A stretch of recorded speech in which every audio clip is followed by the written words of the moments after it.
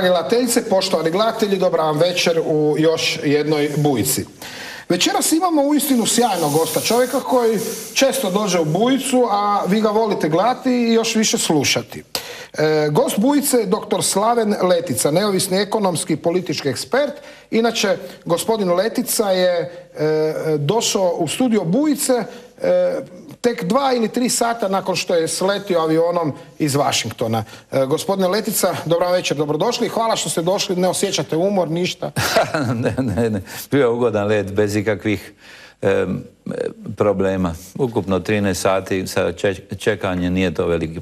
Recimo dva puta do vožnje do Dubrovnika, ništa posebno. Eto, i još ćete sat vremena u bujici e, izdržati, ja se nadam. A zašto smo zvali profesora Leticu?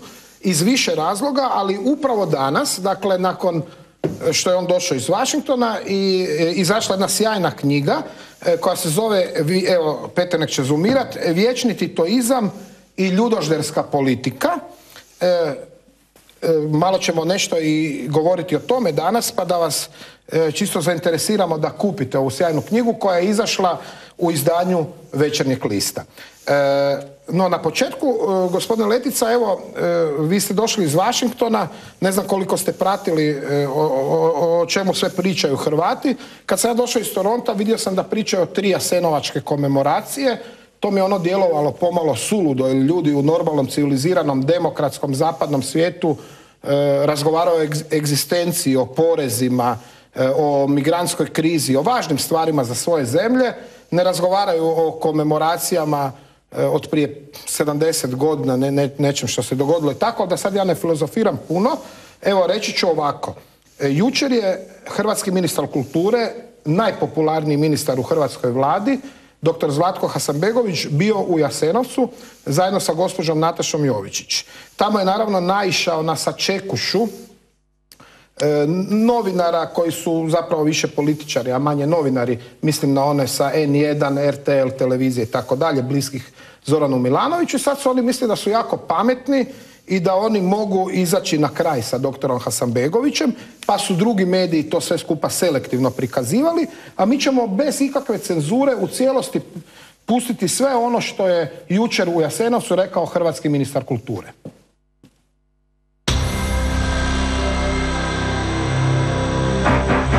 Recite, e, prije nekoliko dana u petak održana je komemoracija u organizaciji zajednice židovskih općina. Kako vi to komentirate? E, oni vama zamjeraju u stvari ovoj vladi da se nije dovoljno ogradila od ustaštva. Koji je vaš komentar na to? Pa žao mi je što je došlo do odvojenih komemoracija.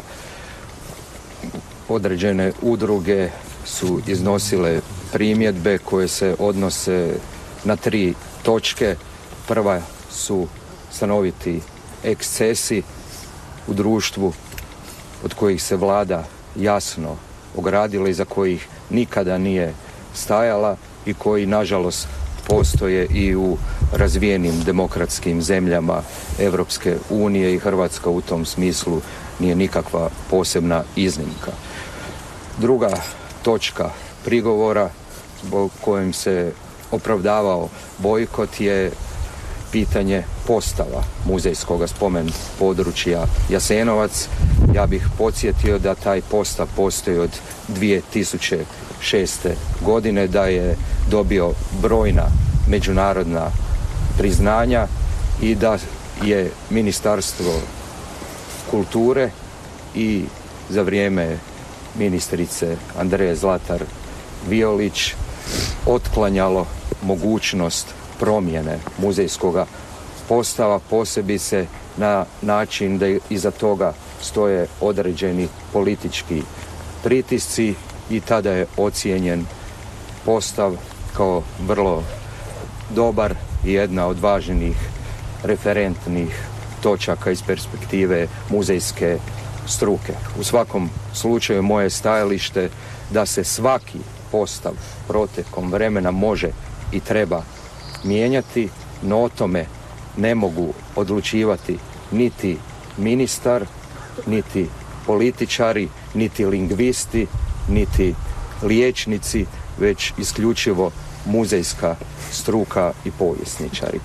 I treća točka kojom se opravdavao bojkot službene državne komemoracije jest neimenovanje savjeta spomen područja Jasenovac.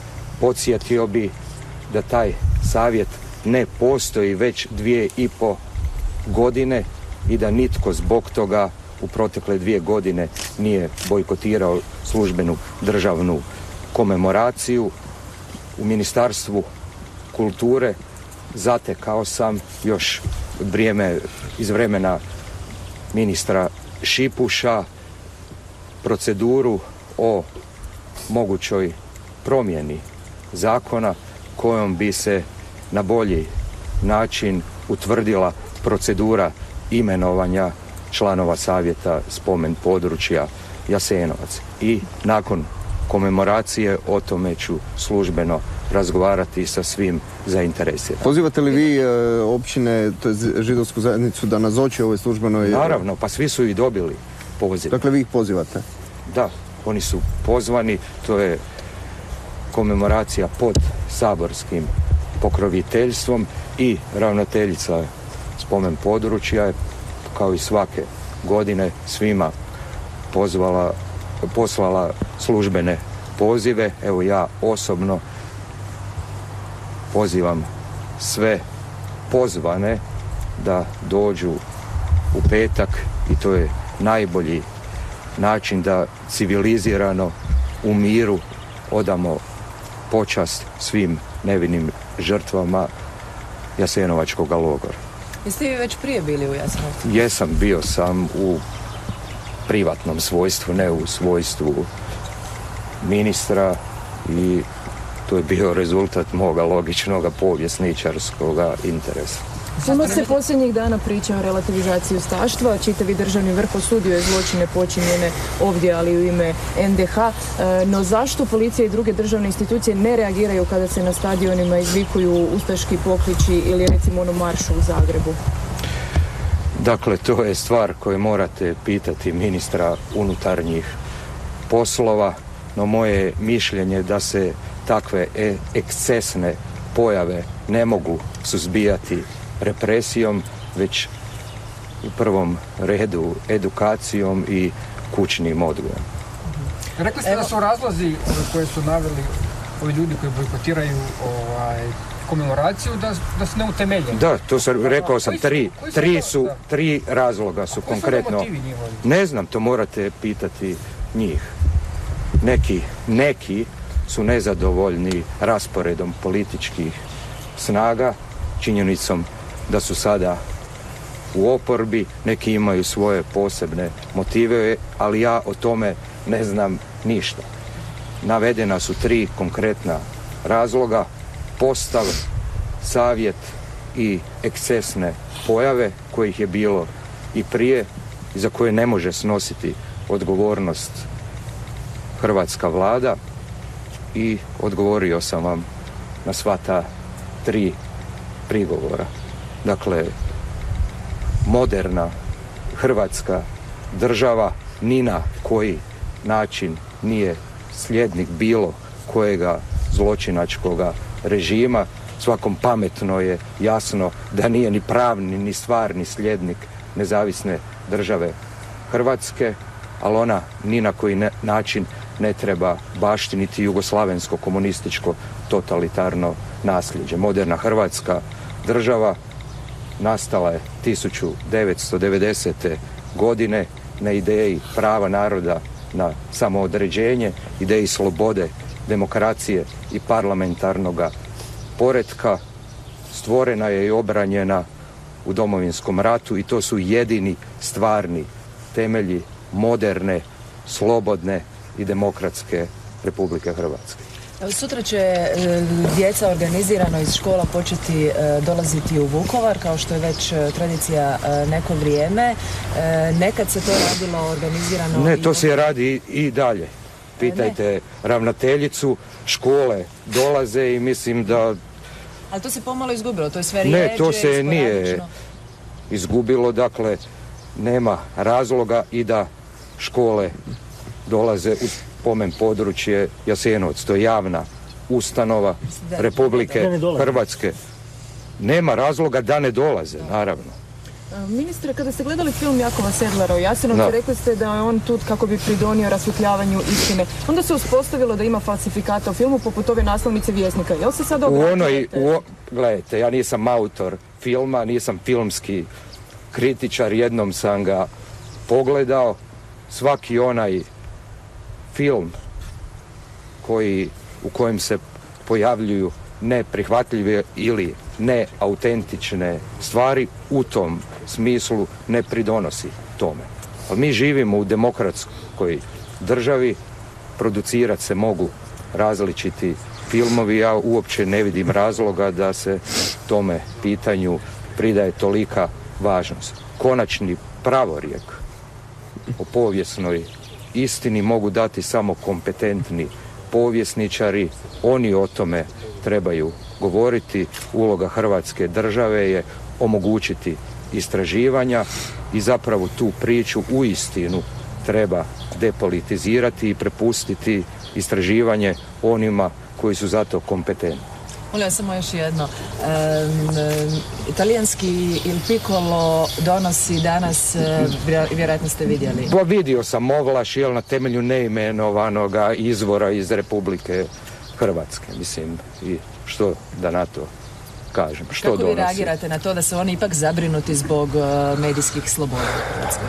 Ja uvažavam svačiju zabrinutost, ali ta zabrinutost je, je potpuno neutemeljena. Ministre, neki povjesničari kažu, zanima me vaše mišljenje, kažu da su ustaški i komunistički zločini e, jednako veliki koji su se dogodili ovdje u području Hrvatske. Jel se vi slažete? Ne, us- zločini se ne mogu uspoređivati. Svaki zločin ima svoju povijesnu pozadinu, ima svoje aktere i zapravo historiografija nije disciplina koja istražuje natjecanje u zločinima, već uspoređuje različite povijesne fenomene u povijesnom vremenu. I komunistički zločini su jedna historiografska tema, zločini drugih totalitarnih režima druga i to je vrlo jednostavno i nije potrebna nikakva posebna mistifikacija. Bitno je da moderna hrvatska država mora istaknuti jasni diskontinuitet prema svim porecima i režimima koji su u svojoj pozadini među ostalim imali zločin. I ona ne može nositi hipoteke prošlosti, a nažalost vi dobro znate da se među ostalim i manipulacija jasenovačkim žrtvama u vremenu komunističkog režima nalazila u samom temelju veliko srpske ideologije koje je nažalost dovelo i do tragičnog rata.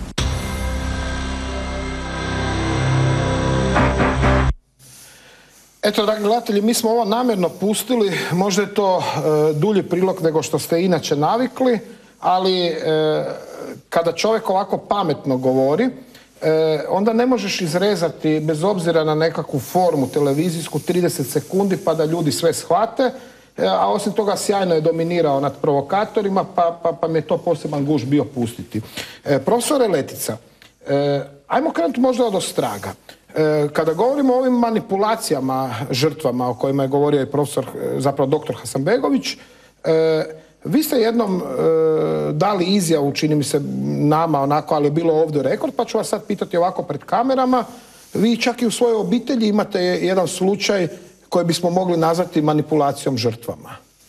Dobro, poslije drugog svjetskog rata zbog puno razloga, zbog velikosrpske propagande, žednje za krvlju, mržnje prema Hrvatima i tako dalje, ali zbog pragmatičnih razloga Josipa Broza Tita jer je htio dobiti reparacije prije svega od Njemačke, svim mogućim načinima su povećavali broj žrtava. Tako se na popisu logara kao žrtva logora Jasenovac donedavno vodio moj brat koji je e, imao manje od nekoliko mjeseci. On je rođen na, e, na putu prema e, zbjegu El Šatu, tamo je umro. Zvao se Slaven Vicent Letica, da je živ ne bi se ja rodio. I on je vođen kao žrtva logora u Jasenovcu. Ne samo on, nego iz mog malog mjesta od oko 1300 duša, 160 ljudi je vođeno u statistikama E, pogubljenih, umrlih, stradalih u logoru Jasenovac. I u tom smislu... A oni su stradali? Pa na različite načine. Negdje su stradali, većina je njih umrla u zbijegu u El Šatu, jer tamo je bio veliki zbijeg od 30-35 tisuća ljudi iz središnje Dalmacije. I onda su tako e, radili te statistike, a to je fantastično poslužilo za stvaranje velikoga mita E, o Jasenovcu, tako da mi imamo realnost Jasenovca, znači e, koncentracijskog logora, radnog logora, logora smrti, zasnovanog na rasnim zakonima nezavisne države Hrvatske. I imamo mit većim dijelom komunistički, velikosrpski mit koji je živio ne samo do jučer, nego kako vidimo i dalje živi. I u tom smislu ja bih htio komentirati ja ne poznam Zlatka Hasan Begovića, nisam, nisam povjesničar. Nažalost nisam imao vremena pročitati njegove e, te znanstvene monografije, ali po načinu kako on govori, njegova filozofija povijesti je jedna racionalna filozofija povijesti. Čovjek očito govori iskreno, znači on nema tu nešto što bi muljao, znači on hoće prepustiti E, povjesničarska istraživanja ili povijesna istraživanja povjesničarima, kvalificiranim, pozitivistički usmjerenim e, povjesničarima i tako mislim da nema tu e, kod njega nekakve skrivene skrivenoga programa. I ono... nasuprot njemu, oprostiti, postoji takva jedna amorfna masa ljudi koji su sebe brandirali kao kulturnjaci 2016. E, se oni nazivaju. Ja bi o tome nešto kazao jer je vrlo zanimljivo. Naime, u Hrvatskoj je vrlo malo organizacija slavi NDH. Jedna od tih je su bili kulturnjaci 2016. jer su oni na jedan barbarski način obilježili obljetnicu NDH tako što su e, prizemljeno sunce Kožarićevo prekrili crnim krpama. Znači to je jedna vrsta barbarstva. Njih ima otprilike koliko sam vidio 4800 se potpisalo na neviđeno da podnese ostavku ovaj čovjek. Ja ću vam kazati, recimo, u predsjedničkoj kampanji 2000. godine e, mi smo u dva sata skupili oko tisuću i po potpisa za povratak lipicanera koji su se tada nalazili u zarobljeništvu u Srbiji. Znači da smo skupljali 4-5 e, sati imali bi više potpisa nego ti ljudi. Tamo nema nikakvih kriterija. Općenito stvoriti jednu, e, jednu amorfnu masu ljudi koji se zovu, neka su se zvali e, kultur tregeri, sada su kulturnjaci, Vidio sam tamo da je glasnogovornica, to mi je bilo jako žao, je od velikog hrvatskog režisera e, Ante Babaje, Iva Babaja dala jednu bedastu izjavu, praktički je rekla da nema nikakve razlike između NDH 41. E, i 45. godine i današnje Hrvatske. Pa sam ja priupitao u inboxu da mi objasni, pa nije znala objasniti sirota o čemu se tu radi. Ali Interesantno, evo, i Šerbeđe je bio nedavno kod makedonske ministrice kulture, e, pa, pa, pa, pa, je ona pitala kako je u Hrvatskoj, e, na što je on odgovorio, Ustaše su došle na vlast. Dobro, Šerbeđe je odličan glumac, pa on je, kako bi se reklo, on je hrvatski srbin, u jednoj fazi optirao za velikosrpski režim Slobodana Miloševića, oko toga mislim da nije bilo, ili recimo jednu blažu varijantu tog neojugoslavenskog, neotitoističkog pokreta koji se brio, zapravo stvorio kao jedan hibridni pokret od Jugoslavenske narodne armije, pokreta za Jugoslaviju, Ujdija i tako dalje i tako dalje. Bilo je takvih pokreta kod raspada složenih e, država. Znači, velika je razlika između njega i ove skupine ljudi. Jer to su uglavnom već, većina, to su ljudi koji su e, umjetnički, e, spisateljski, glazbeno jalovi. Znači oni su nesposobni i to je za njih prilika da pokažu da su živi. A unatoč jalovosti e, zapravo dobivali su velika novčana sredstva iz proračuna. Dobro, ja ne, znam sasvim sigurno da David Reef, jedan od on je sin od e, Susan Sontag pokojne, ali on napisao jednu briljantnu knjigu o nevladinim udrugama u Americi gdje je pokazao da i tamo nevladine udruge, e, jedna je zapravo lobistička profiterska skupina ljudi koji nemaju baš tako duboke korijene u bazičnim profesijama i našli su tu prostor da egzistiraju. Najlakše je parazitirati na državi, znači ako imate prijateljskog ministra e, kulture, a e, ti ljudi su imali u doba i Andreje Zlatar i nekih drugih ministara, tako da su sasvim sigurno frustrirani da više ne, mogu dobivati novce. E, gospodine Letica, e, vi ste zapravo, e, u biti, evo, gospodin Hasanbegović je u Jasenovcu jasno rekao temelj moderne Hrvatske države, demokratske Republike Hrvatske je domovinski rat i sve ono što se događalo 90. 91. tu su temelji. Evo i vi ste bili na, na vrlo važnim funkcijama tih godina i jedan ste od onih koji su sudjelovali u temeljenju te moderne Hrvatske države. E, zašto se onda stalno vraćamo? Stalno kad su neki datumi, neke komemoracije, vraćamo se e, u neka druga vremena, a imamo tu blizu, prije 25-6 godina, taj temelj koji smo udarili, koji jest moderna Hrvatska. E, ne bi se tu složio sa ministrom, a to je i teza mnogih ljudi da je 1990. 90. godina domovinski rat, da su jedini temelji moderne Hrvatske države. Ali su svakako najvažniji. Najvažniji, vrlo važni su, ajde da kažemo. Znači, svi narodi imaju korisne i nekorisne prošlosti. Znači, mudri narodi biraju iz vlastitih prošlosti ono što je korisno, što je upotrebljivo. Amerikanci zovu usable past. Znači, i Njemci, i Francuzi, e, i Amerikanci radili su zla najvećih razmjera, provodili su genocide nad manjinama i tako dalje, ali iz te bogate prošlosti deriviraju ono što je korisno. I hrvatski narod ima takvu prošlost koja je bila burna i može od te bogate prošlosti stare tisuću godina kamičak po kamičak izdvojiti nešto što je korisno, što ga čini ponosnim, potentnim, kreativnim i svakako da je domovinski rat e, vrlo važan u tome i da su 90. godine vrlo, vrlo važne. E, zanimljivo, evo vidimo nekim novinarima smeta što djeca idu na ekskurzije u Vukovar, smatraju da e, se previše ide u Vukovar, a premalo u Jasenovac. Mislim, kakve su uopće to pitanja, kakve su to usporedbe? E, pomalo degutantno, kako nekome može smetati da djeca idu u Vukovar, Naravno, nikome ne smeta da idu u Jasenovac, ali možda to postavljaju pitanje oni kojima je krivo što djeca ne idu u Kumrovec zapravo više. Čujte, što se mene tiče, mogu djeca ići gdje god hoće. Znači, ono što je problem, e, možda i najvrijednija konceptualna knjiga doktora Franje Tuđmana je bila E, velike ideje i mali narodi. Znači on je pokazao da mali narodi, prije svega mali narode iz Srednje Europe, imaju velike povijesne nesreće jer bivaju zarobljeni od velikih totalitarnih ideologija. I to se Hrvatima dogodilo, to se dogodilo i Mađarima, Slovacima, Fincima, da ne kažemo Norvežanima i tako dalje. Znači mi e, baštinimo te dvije velike totalitarne nesreće i baštinici gubitičke totalitarne ideologije ustaške ili endehazijske su 60, 70, 80 godina bili poniženi. I oni su pobjednici misli da oni mogu vječno e, parazitirati na titoizmu. I to je smisao moje knjige. Znači, ideja vječnog titoizma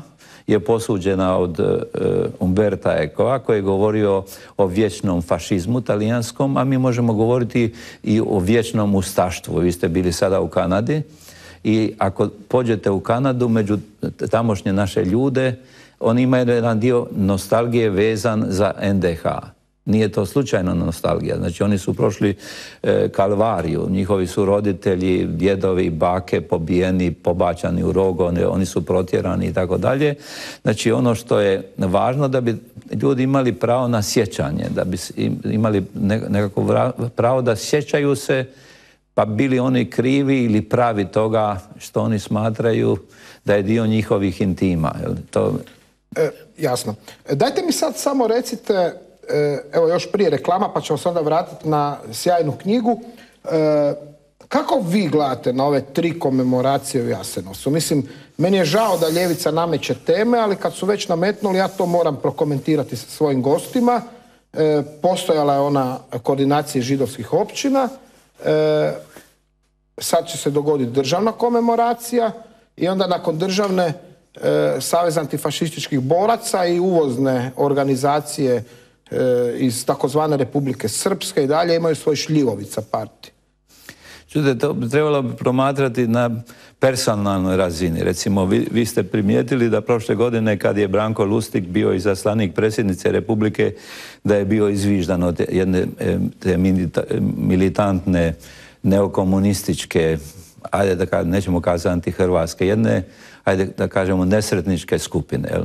Znači, ako može netko izviđati Branka Lustiga, znači, a njegova razlika bitna u odnosu, na primjer, jednog drugog hrvatskog židova, Slavka Goštajna, što je Branko Lustig sposoban, uspješan, dobar i plemenit čovjek. I e, moja e, žena ide redovito na festivale židovskog filma ovdje u Zagrebu i prije dvije, tri godine on je bio domaćin nekoj maloj Vukovarki i dok je s njom razgovarao je se rasplakao. To se Slavku Goštenu ne može dogoditi. Znači on s jedne strane ima pravo na da je gnjevan. Njegov su NDH, Ustaše su njegov obitelj odveli većim dijelom u Jasenovac i neke druge logore, ubili su mu tamo oca. Međutim, ta jedna vrsta zla ili e, veselja zlu i neuvažavanje dobra nešto što meni smeta. I u tom smislu mi imamo dva novinarska društva ili tri novinarstva, dva društva pisaca i tako dalje, tako da mene to previše ne čudi i vrlo teško će moći se ostvariti to na što je apelirao Hasan Begović da bi se sada neko tamo mogao e, pojaviti i napraviti neku veliku gestu. To bi trebalo u nekoj dugoj, tihoj diplomaciji pokušavati rješavati taj problem. A što kažete na ove tobože pritiske nekakvih stranih ambasada, pa se onda spominju Norvežani, Nizozemci i Francuzi, navodno smeta im Hasanbegović, pa onda e, novinari koji su e, zbog služenja Milanoviću sad možda u nemilosti na HTV-u, ali zapravo zbog vlastitog neprofesionalizma oni šire priče kao kako će sad Hasanbegović u petom mjesecu morati otići.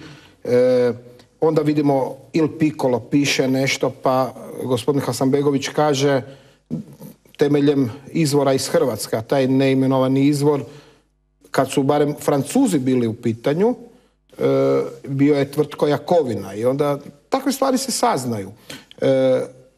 Jer još uvijek imamo taj nekakav podanički mentalitet, a u NATO-u smo i Europskoj uniji. Zašto bi uopće bilo važno što misli nekakav pa- norveški veleposlanik u, Zagrebu? Jest važno, je Norveška, znači, postoji deset najuglednijih zemalja na svijetu, Kanada je već dvije, tri godine na prvom mjestu, Norveška na trećem, četvrtom. Nije nevažno što misli veleposlanik e, Norveške i Švedske i tako dalje, ali važno je što mi sami o sebi mislimo. Ima tu jedan e, kompleks, ajde da kažemo, neću kazati manje vrijednosti, nego kompleks naroda koji je toliko dugo bio bez države. Pokojni frata Dukat je znao reći da je narod bez države kao e, govno na kiši. On je to znao govoriti. On je dole iz mog kraja pa je bio malo priprost. Ima u tome istine. Znači vi morate kultivirati osjećaj državnosti, pripadnosti, poštovanja. Jedan veliki sam esej napisao o domoljublju u Sjedinim američkim državama i ovdje. I u Americi je domoljublje kao jedna vrsta e, bon tona. Znači, vi ne možete biti e, Amerikanac, a da ne volite američku zastavu, himnu, da se ne osjećate ponosnima što pripadate jednoj takvoj velikoj zemlji i tako dalje. Znači, ja sam optimist u tom pogledu da će možda i djeca od e, e, Jakovine ili ne znam koga drugog biti hrvatski plemeniti domoljubi i nacionalisti, da će biti ponosni na vlastitu zemlju. E, kad već pričate o Americi, evo još prije reklama, u New Yorku su održani izbori i unutar demokratskog i unutar republikanskog tabora E, praktički stvar je gotova, u predsjedničku utrku ući će najvjerojatnije gospođa Hillary Clinton i Donald gospo- Trump, i da. gospodin Donald Trump. Da, ja prije dva, tri mjeseca sam prognozirao, što je nije bilo teško napraviti, da će oni biti glavni favoriti, da će voditi završnu trku. Znači, Donald Trump je jedan čovjek koji nastupa protiv establishmenta, koji je javno nastupio protiv političke korektnosti, privukao na svoju stranu ogromnu masu, e, ajde da kažemo, ojađenih Amerikanaca ili gnjevnih Amerikanaca i predstavnica e, establishmenta e, demokratske stranke Hillary Clinton. Biće vrlo zanimljiva trka i općenito u Americi ljudi, vidio sam da su hrvatski mediji demonizirali Donalda Trumpa. To su osim radi- Bujice. Mi smo čak puštali njegove spotove. dobro, recimo to su radili kod Ronalda Reagana. Vi nikad ne možete prognozirati kakav će biti Donald Trump predsjednik, jer on mora govoriti u borbi za nominaciju republikanske stranke ono što biračko tijelo od njega očekuje da bi mu dalo svoje povjerenje. Onog trenutka kad dobije nominaciju, onda ćemo vidjeti kako će graditi vanjsko-političku doktrinu, kako će raditi e, ekonomsku do- doktrinu i tako dalje. Biće to zanimljiva trka i za Hrvatsku važna zato što između ostalog jer njegova je žena Slovenka. Ne? Tako da će Slovenci će imati prvu damu. Sjajno. Profesor Letica, u knjizi Vječni titoizam i ljudožderska politika Josipa Broza Tita nazvali ste, pored svih ostalih, ono, despot i tak dalje, ljudožderom. Kako to?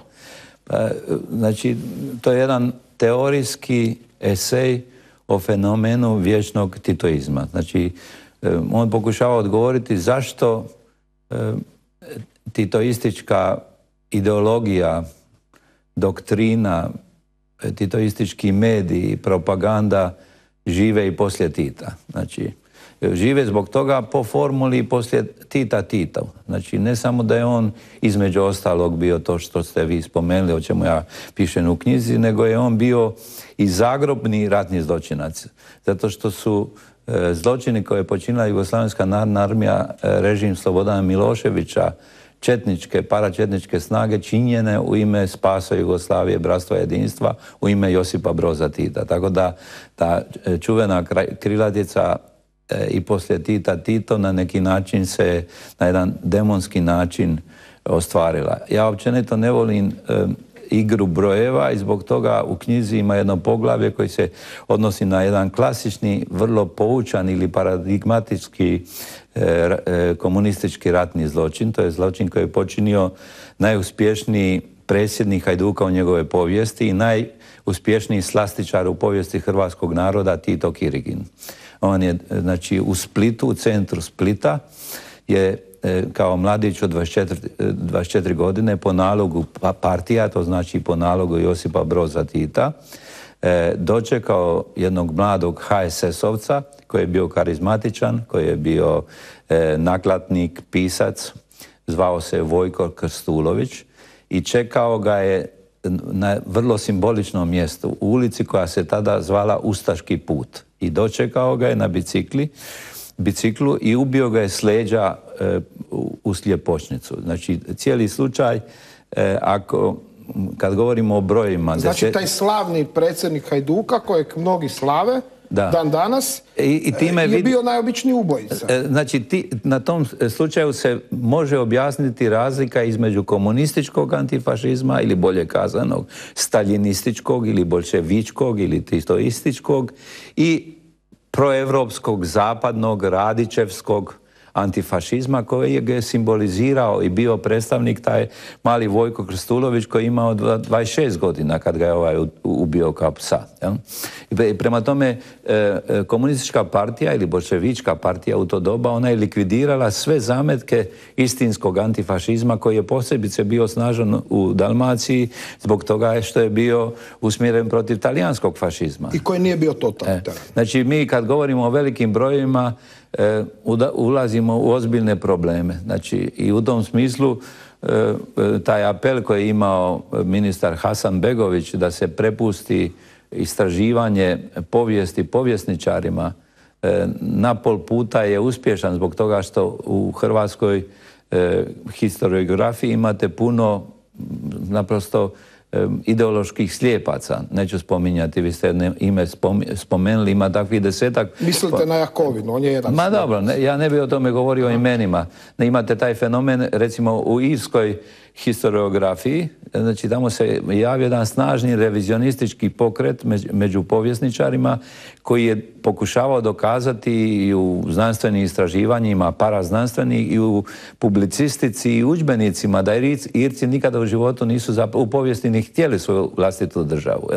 I taj tip revizionizma javlja se i u hrvatskoj historiografiji. I on se reproducira. Ako vi e, na fakultetima takvim ljudima date da, da, da bivaju mentori, recimo jednog E, takvog povjesničara, kvazi povjesničara, mentor mu je bio doktor Ivo, Ivo Banac. Pa sam pitao Banca kako si mogao dopustiti, e, mislim čovjek mogu kazati, zove se Klasnić, jel?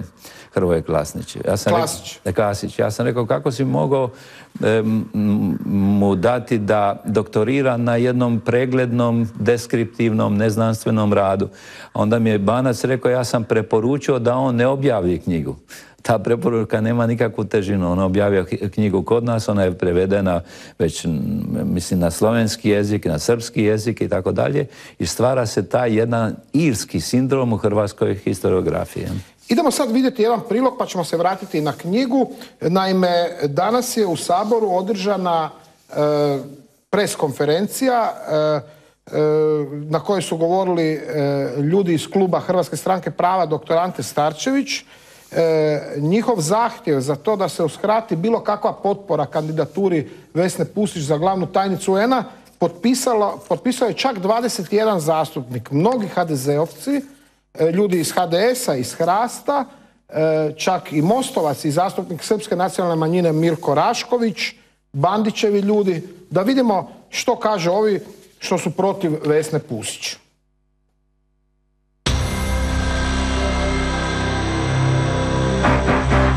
Hoćete li tražiti od premijera Oreškovića da izađe pred kamere i ogradi se od podrške Vesni Pusić?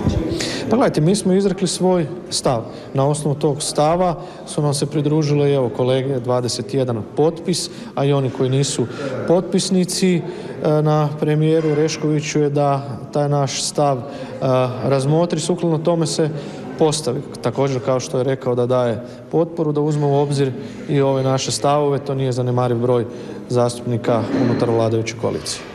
Premijer Tihomir Orešković našao se u prilično nezahvalnoj poziciji zbog potpore koju je otvoreno iskazao kandidaturi Vesne Pusić za glavnu tajnicu UN-a. Protiv njega se pobunio veliki dio parlamentarnih zastupnika vladajuće domoljubne koalicije. Pokušajte naći jednog zastupnika iz domoljubne koalicije koji će reći da podupire Vesnu Pusić i ja ću vam skin kapu.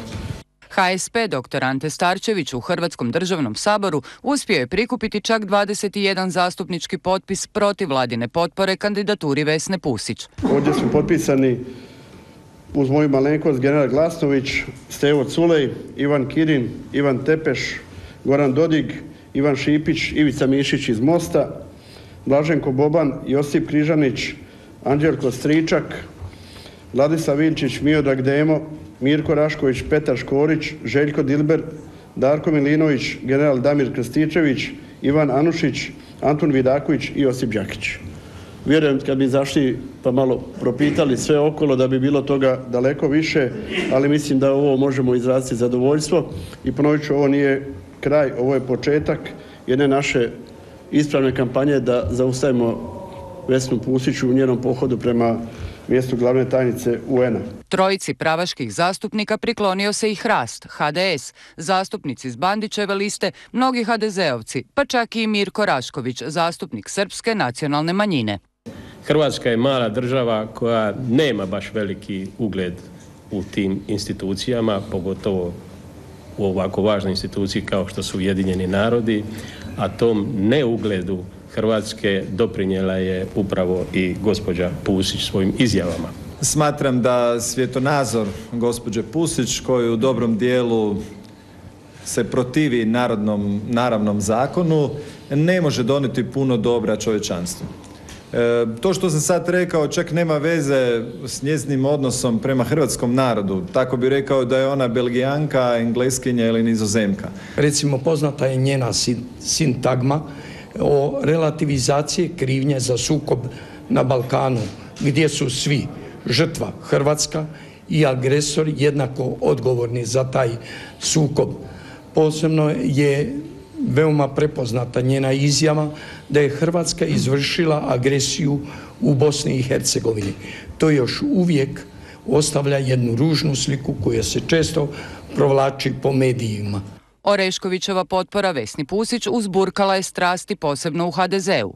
Damir Krstičević, Željko Dilber, Stiv Culej, general Glasnović i drugi popularni zastupnici HDZ-a doslovce su ogorčeni na Oreškovića. Uglavnom moj stav se zna, a zna se i od kada potječe. Upravo iz tog vremena 2001. godine, ono što ja nikada Vesni Pusić ne mogu oprostiti, niti ću oprostiti, to je prva njena izjava da je rat na području Republike Hrvatske nastao uslijed krivih politika tadašnjeg vodstva. E, danas ona se kandidira za ovaj, glavnog tajnika UN-a, a čini mi se da e, s obzirom da očito ne pozna ili ne želi poznavati situaciju koja je u to vrijeme vladala u Republici Hrvatskoj, pitam se kako će e, rješavati probleme unutar svjetske zajednice. Moram reći ispred 10 tisuća hrvatskih građana Slavonije koji su za mene glasali e, da ne mogu kući doći ako budem glasao za nju i bio za njezinu kandidaturu.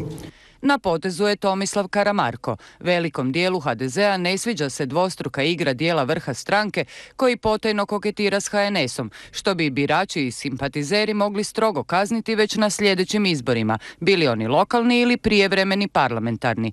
Oreškovićeva potpora Vesni Pusić dovela je do toga da HDZ na centru nije dobio nove simpatizere, a na desnici bi ih mogao bespovratno izgubiti. Ja danas ne da govorim samo u svoje ime, govorim u ime ljudi koji su svojim glasovima mene na neki način i, i, kandidirali u ovaj visoki dom i svaka druga moja reakcija bi bila izdaja prema tim ljudima.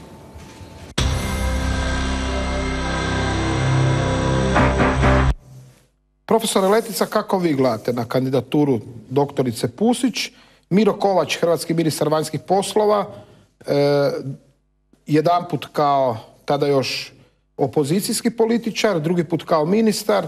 Evo u ovoj emisiji, u ovoj stolici rekao je da Vesna Pusić ne može imati potporu. Čak su objasnili kako je na jedan trik način e, igrom datuma e, i ta kandidatura spora, e, sporna bila.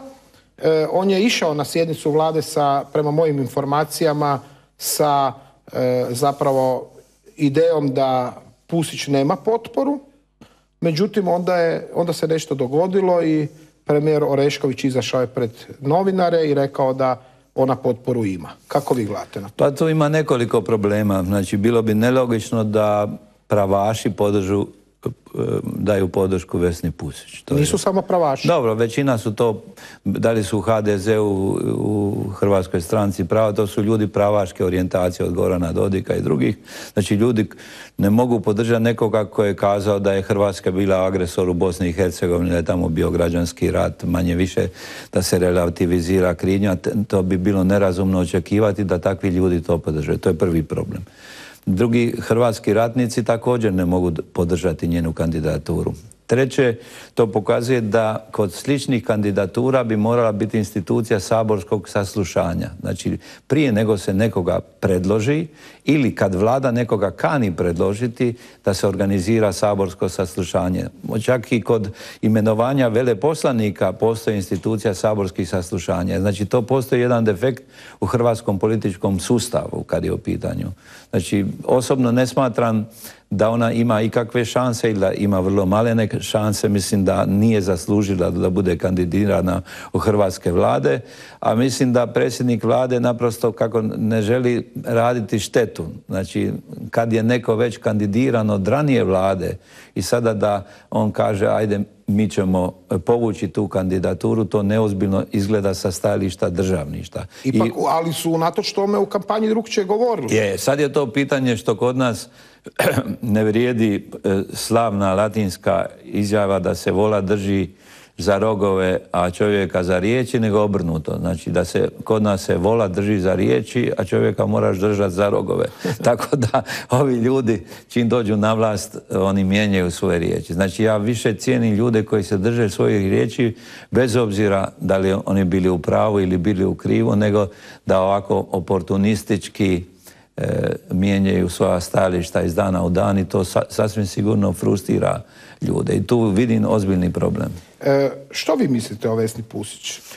Čujte, ona je kao, kao znanstvenica bi kod mene dobila recimo ocjenu plus dva. Znači, napisala jednu knjižicu, nešto o, industrijskim menedžerima, to njoj je doktorat proširen, znači nema znanstvenog opusa, ne znam kakva je bila nastavnica, pretpostavljam ne osobito dobra, predavačica, uvijek se pravi nešto važna. Znači nema on je mišljenje kao sociologinji previše visoko. E, naslijedila je, uvijek se na neki način karijerno znala snaći, imala je dobre mentore. Znači u doba kad se nije bavila politikom i kasnije preko Slavka Golštena pa Savke Dapčević Kučar. Znači ona je znala karijeristički se dosta E, dobro postaviti. Mislim da njoj sada Ivan Šimonović i njegova žena su njoj također pripomagali pokušavanju primoći, e, pomoći ovoj kandidaturi, ali hvala Bogu mislim da nema veće šanse da uspije. E, u svojoj knjizi, eto vratit ćemo se na kraju na knjigu, Vječni titoizam i ljudožderska politika, govorite i o strukturi mozga političkih osoba, da tako kažem, pa onda se uspoređuje Staljinov i Hitlerov mozak. Ja ću vas pitati, dajte mi usporedite recimo mozak, evo aktualna je gospođa Pusić, Vesne Pusić i Mire Kovača. Kako biste, kako biste njihove mozgove usporedili? Da, ne, Mislim, poigravate se s tim u knjizi, je, ja ne želim znači, ispast uh, jako je, seksist ovdje, ne, ali... Veliki je napravljen, napravljen na području e, ono što ja zovem mozgoslovlja ili e, neuroznanosti ili neurosciences i tehnologija je jako razvijena, tako da mi danas možete sa modernim skenerima mozga zadnjih kategorija možete puno doznati o ljudskim emocijama, reakcijama, političkim uvjerenjima i neosporno e, postoji mnoštvo istraživanja koja pokazuju da postoje različite strukture mozga ljudi koji su, ajde da kažemo, e, socijaldemokratski, laburistički, ljevičarski, komunistički orijentirani i oni koji su tradicionalno, konzervativno i drugo. No da bene ako postoji ne, ovako malo vulgarizirano govoreno, pa ako postoji predispozicija ljudi da budu homoseksualci i lezbike, znači ta teza kaže da možda postoji i socijaldemokratski gen ili da postoji e, gen e, konzervativni Mira Kovača i Tomislava Karamarka i malo e, ljevičarski gen Zorana Milanovića. Ja o tome citiran u knjizi mnoštvo istraživanja. Inače, zanimljivo kod nas, naš vodeći mozgoslov Ivica Kostović, on ima jedan e, veliki muzej ili fundus mozgova hrvatski. Pa sam znao sam pokojnega Tuđmana zezati pa njemu se jako sviđa Ivica Kostović. Onda sam mu rekao, e, e, predsjedniče, li vi gleda, primijetili ste gdje on vas gleda? Kaže, on meni kako to? Pa kaže, ne gleda vas nikad u oči, nego malo više. Hoćete se domoći vašega mozga. Ako već spominjete Lenjinov mozak, Lenjinov mozak je bio malešni mozak. Znači, poznata je činjenica da žene imaju negdje oko 6 do 8% kvantitativno manje mozgove i to je bio osnov tradicionalnog seksizma Ja, sad će vas napast. ne, ne, ne, ne, obrnuto. Ne, ne, obrnuto. Znači, dokazano je da kvantitet mozga ne određuje njegov kvalitet. E, recimo, Lenjinov mozak je bio malešni mozak, od, oko 1370 grama, a mozak Turgenjeva, pisca, je bio oko mrcina od 2 kilograma. Znači, e, kvantitet ne određuje kvalitet. I u tom smislu, to je e, poglavlje koje raspravlja o političkim orijentacijama orijentacijama, jer kod nas se sve gleda u, u, u, u, kategorijama klasičnog političkog spektra od francuske revolucije, od krajnje ljevice do krajne desnice, gdje bi vi recimo bili ne sasvim krajne na desnici, vi bi bili, ajde tamo kod ovoga, kako se zove, Kirina, ovog prekrasnog inače neurokirurga, e, e, e, mikrokirurga i tamo kod, kod ljevičara bi bio, ne znam, ko bi to bio, Baja, Baja Jurjević ovaj iz Splita. Sjajno, baš sam ali, dobio kompliment. ali, znači, to je bio klasični spektar. Međutim, moderni politički sektor, spektori gledaju da li su ljudi u tim vrijednostnim rasporedima liberalni ili autoritarni. Znači, vi možete imati nekog ljevičara koji je liberal, i koji može podnijeti različito mišljenje i koji je snošljiv i koji hoće s vama razgovarati. Ali možete imati ljevičara staljinistu ili možete imati... To je Milanović. Da bi, ja ne bi govorio sada, on je sada u oporbi. Da, nećemo od njega. E, znači, ali na desnici također možete imati jednog radikalnog desničara koji je snošljiv, liberalno praktički usmjeren u smislu da dopušta rasprave, da ne bi čovjeka skratio za glavu i možete imati nekoga koji je e, autoritaran e, tipa Hitlera ili drugih različitih satrapa.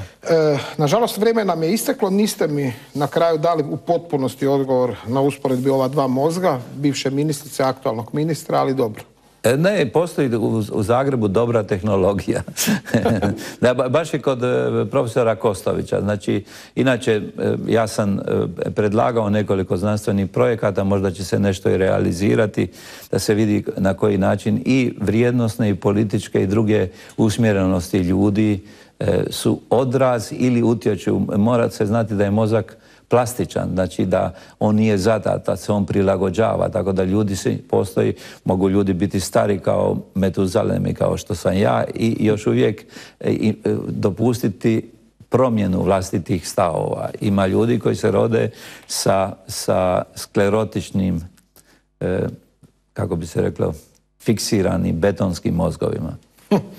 Profesor Letica, hvala vam lijepa na gostovanju u Bujici. Hvala vama. E, drage gledateljice, poštovani gledatelji, bilo je to sve za danas.